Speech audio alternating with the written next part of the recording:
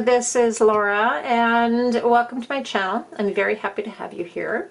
And if you're new, please consider giving me the thumbs up as it really helps my channel, but also by subscribing, leaving me your comments. I love to hear from you guys and make sure to turn on your notifications so you know when we have new content to share with you. All right, so let's get started as I show you how to make one of these super cute wire Christmas ornaments. So the materials we are going to use for our little Christmas ornament is uh, 14 gauge aluminum wire. So we have a green and a red. Uh, beauty of this project is that you're not locked into any particular colors because it is an ornament. And then we have our rebar wire as well. I've got a knitting needle and you can use anything cylindrical. You could use a, a, a pencil or a skewer or something as well. We have our large, heavy snips, and that's primarily for this here. We have our barrel nose jewelry pliers, a pair of chain nose pliers, and then this one uh, we'll use for uh, making our, our bail for our project. And then you need a cylindrical item of some sort, uh, fairly large actually. So this one is um, about almost seven centimeters across or uh, two and three quarters inches, two and a half, two and three quarters inches, so uh, fairly substantial diameter on this. and then uh, we have some crystals here, and we may or may not use those. I just have them out here um, in, in case we decide to. All right, so let's get started. Okay, so we're going to work right off of the spool to start off with with this a project. So we're going to just pull out the length of this wire. And once again, this is about a 12 gauge wire, so it's fairly, fairly sturdy. And then we're just going to take our cylindrical object, whatever it is that you decide to go with, and we're going to wrap it. Uh, let's do two wraps, and then that way we're sure to have enough wire. Then we're going to just snip that off there, putting that aside. And then so we have this really great little coil here. So, and we want to find what, what is going to be approximately the center of our coil wire. And then we're going to take our knitting needle or pencil or whatever it is that you've decided to use to make your coils. And we've just made this little loop. And like I said it's approximately center. I actually am um, off by probably a couple of centimeters from the looks of things. Um, and I can tell that because of where the ends meet right? Anyway no big deal Okay, so then we're going to kind of straighten out our wires a little bit. And we're going to bring this back in. And we're going to bend this back around. Back around our object. Okay, so you can see it's already already taking shape here, taking form. Right? Okay, so we do want to find, you know, have these overlap what would be our center point. So what we're looking for is we're looking for it to be straight across up this way. Taking our chain nose pliers, we're going to grab both of those wires and we're going to just fold that one straight up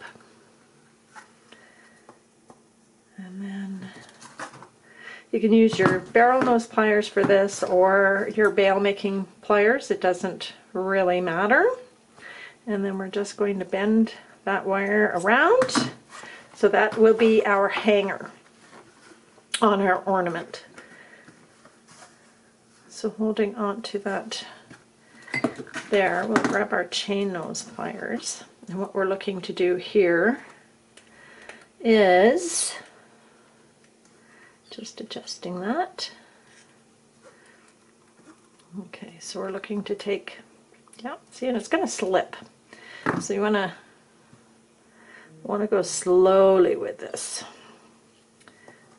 Okay, so what I did is I took that wire and I just wrapped it once around, once around what will be our hanger. So it's a pretty basic shape, pretty straightforward there. I'm going to be just a little bit less circular, so I'm just pulling evenly on both sides of the wire here.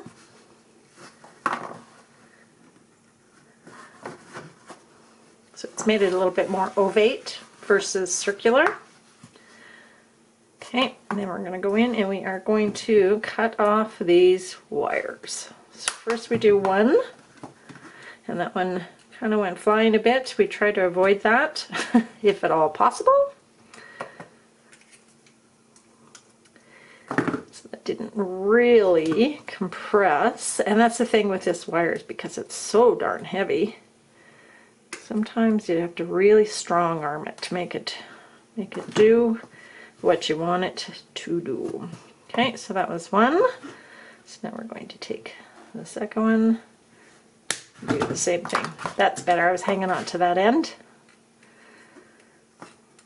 Okay, awesome. You can still see it sticking out there.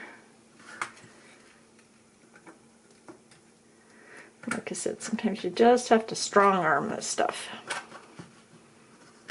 That may or may not end up being an issue, but we really do try and get rid of those pokey, pokey ends.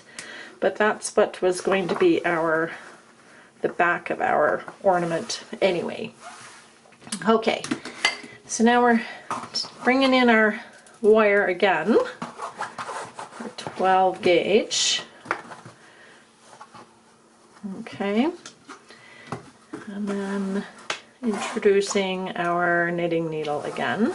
We're giving ourselves a good a good length here and this is probably about 12 inches. So let's go with that or perhaps 30 or so centimeters. And then we're going to start at that point and then we're just going to start to wrap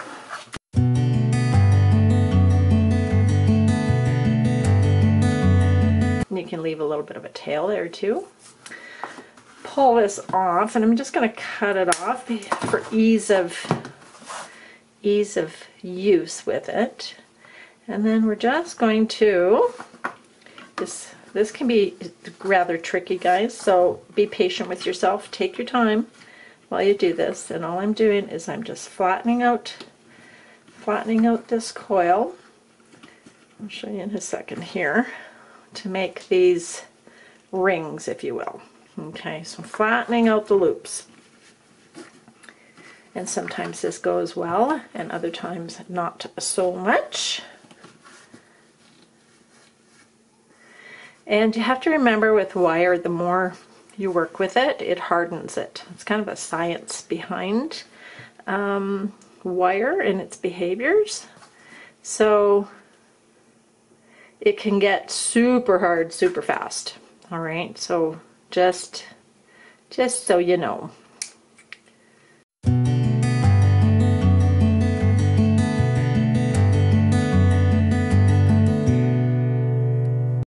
Okay, so you can see how it's starting to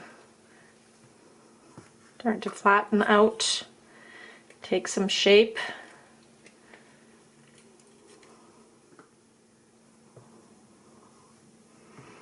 Okay, so straighten out this end as well.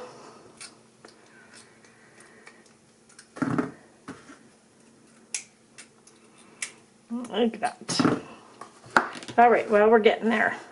Still a little wonky, but it's all good. Warbly, I guess.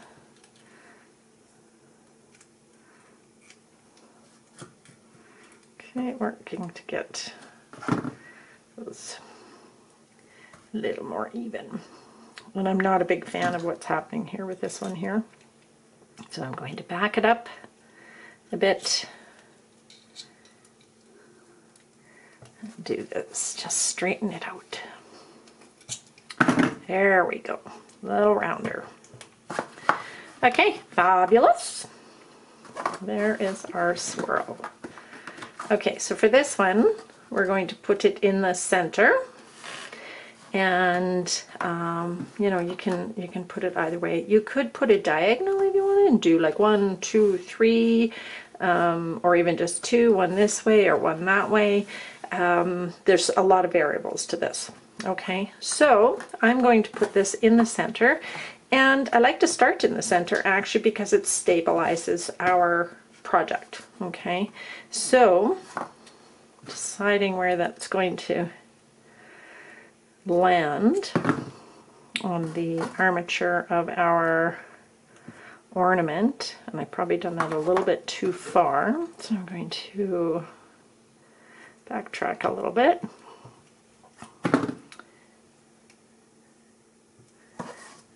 I'm going to pop that on there like that. And that lands about perfect. So I'm going to complete that complete that little loop there. Bring that back down. We want to maintain the, um, the shape of our ornament here.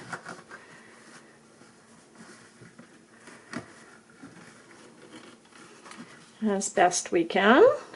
And then same thing with this one. So we're going to bend it where our armature meets. And this is the part that's going to warp your uh, your design if it's going to move at all. So this has squished it so that it's it's um, the circle is flattened out this way versus that way. So I've got it too, a little too tight for what I want it to be. So then what I'm doing is I'm going to straighten this out a titch and I'm going to give it a little bit of a bend just there we go. That is going to be perfect I think. Alright like so.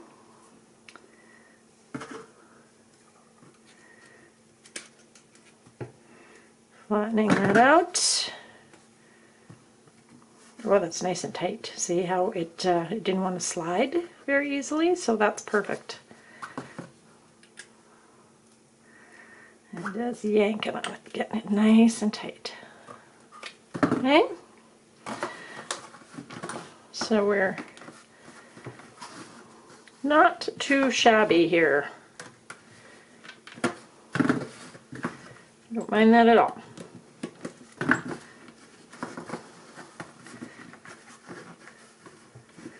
Nice. Okay, so we're going to make sure that these wires are bent back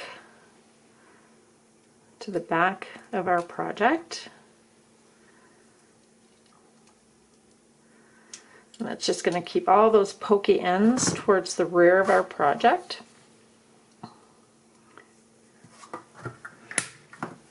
Off.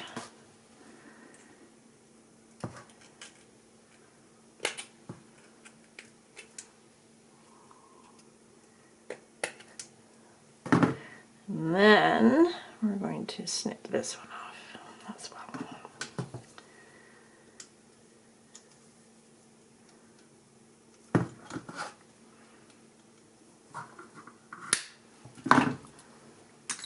Okay.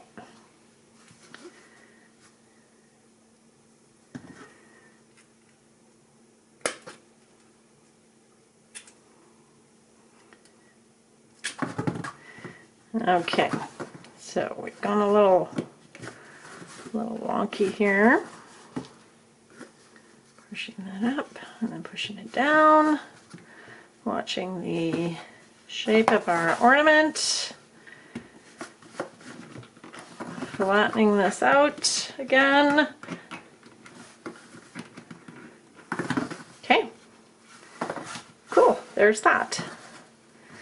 All right, so the next part, I think what we'll do is I will bring in some of our 18 gauge utility wire and I apologize I did not add this to our um, materials when we started. So um, this is very greasy as well um, often more so than what the rebar wire is even. So be aware with your surfaces and try and wipe it off if you can. All right, so now we're going to take a really good length of this and I think we will add some of our crystals. So what I'm going to do is just start by adding this wire to our armature.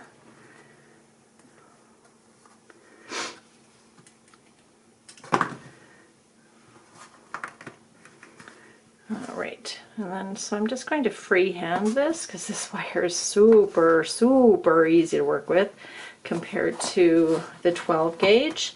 So I just made one little loop here. And then I'm going to throw on a, a crystal here.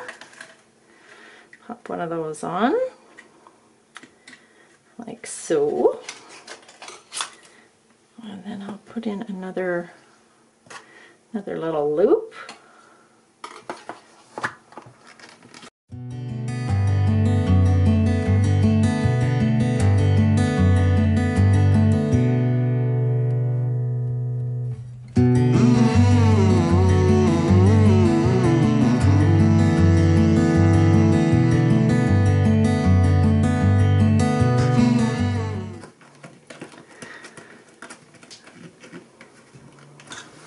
There we go. That gives a little bit of added bling to that. So then we're going to go ahead and we're going to do another one along the bottom here. And there we go. Super cute little shiny, shiny little ornament. Alright, now we're going to do the same thing out of our aluminum wire. Okay, so I think we're going to make the body of it green and then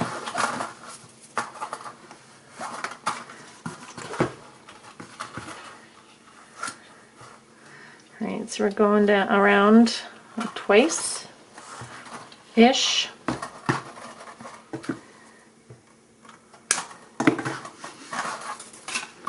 And then finding what is approximately the center wire here. Nope, I did that incorrectly. Sorry. It is approximately the center here. oh my goodness. Okay, we're going to take our knitting needle again. We're going to just wrap it around the knitting needle. Just to make that little loop on the bottom. Reintroducing our container here. I'm going to wrap this around again.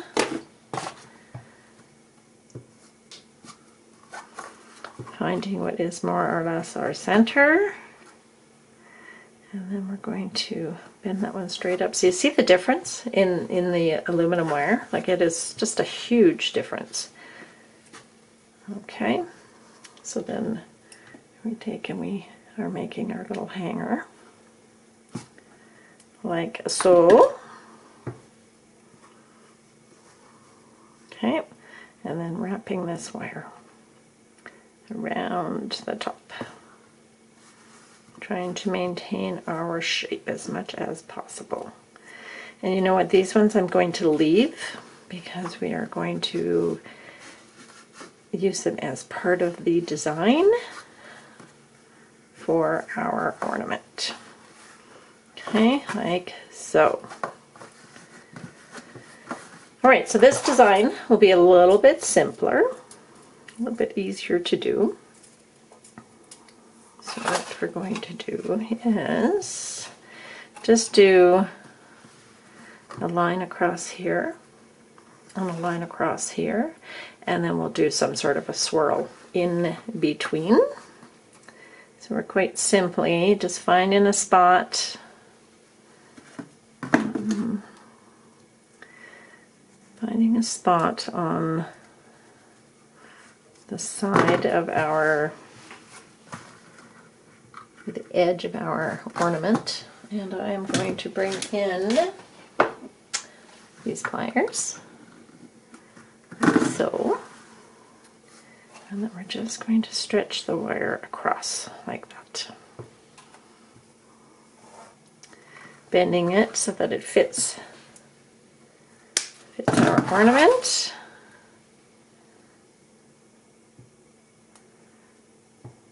Just going to wrap it around the armature.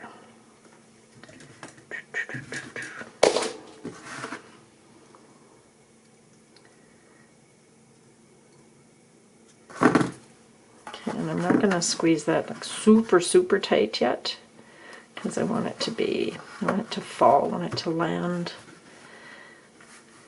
in a specific spot. Okay right about there. So now we can squeeze this together and really squeeze that down. Okay. Like so to it. So then once again,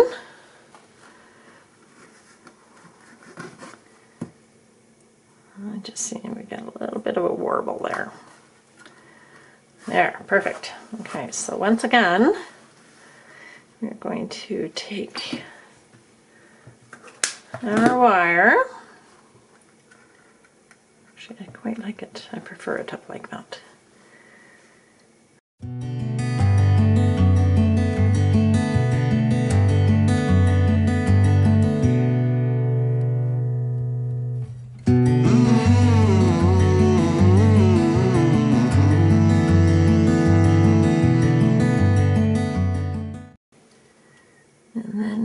Squeezing that in nice and tight. All right, so we're going to spend a little bit of time straightening these out.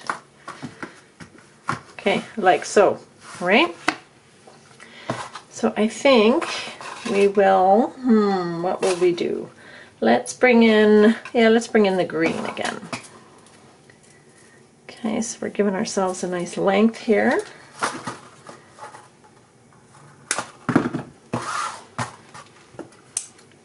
Knitting needle.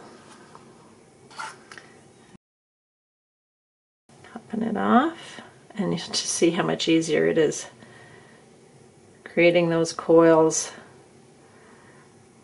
with the aluminum wire really is an amazing product.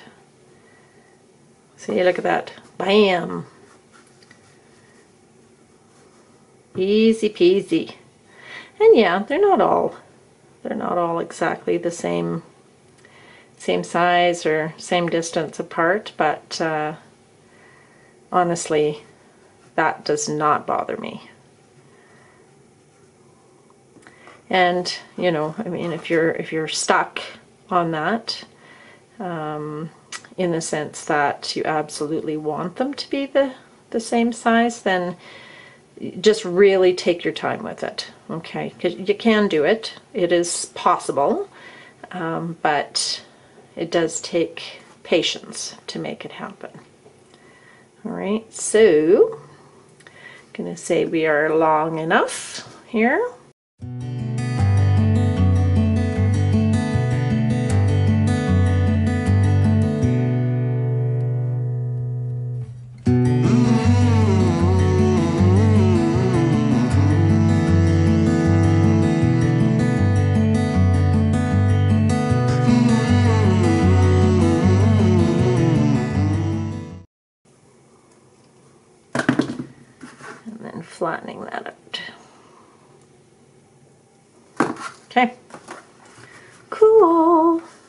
that sweet? Just so pretty, isn't it?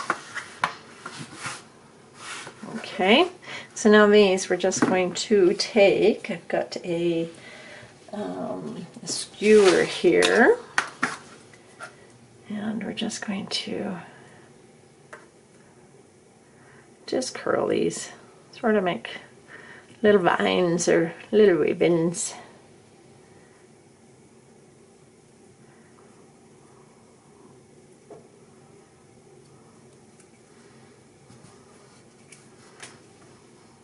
Just like that. And I like to close these ends. Close them up so that they're not snagging on stuff. Like so. Cute! And then, yeah, you can just play with your wires. Straighten them out.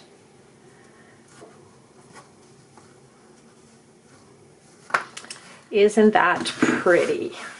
What a nice little embellishment. So you could do exactly the same thing with this one, or you could go ahead and you can uh, you could add ribbon to it. Um, you know, like really uh, play around and uh, go with whatever materials that you have hanging around. So there you go, guys. There are our super cute little wire Christmas balls or Christmas baubles, if you will. Um, I'd just like to say thank you so much for popping by and joining me to make this really great little project. I really appreciate you being here. And don't forget to give me the thumbs up as it really helps my channel. Subscribe, comment, and click the bell to get the channel notifications. So for now, thanks again for being here. I hope you have a fantastic day and I will see you soon.